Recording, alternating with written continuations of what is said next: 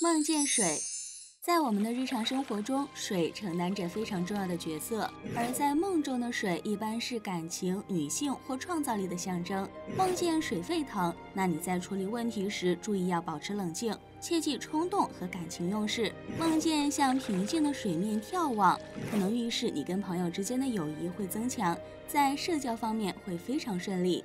梦见自己走进水中，可能意味着你将踏上新的起点，开启新的人生。梦见自己在水里被淹死，意味着你打算忘记一些不愉快的事。